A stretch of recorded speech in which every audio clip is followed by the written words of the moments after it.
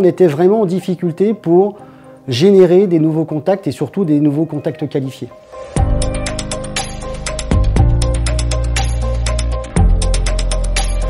Aujourd'hui, on amène, euh, si je prends le SEO et le SIA, j'ai un nombre de leads grandissant, sachant que chacun de ces leads a potentiellement un chiffre d'affaires de 10 000 à 100 000 euros.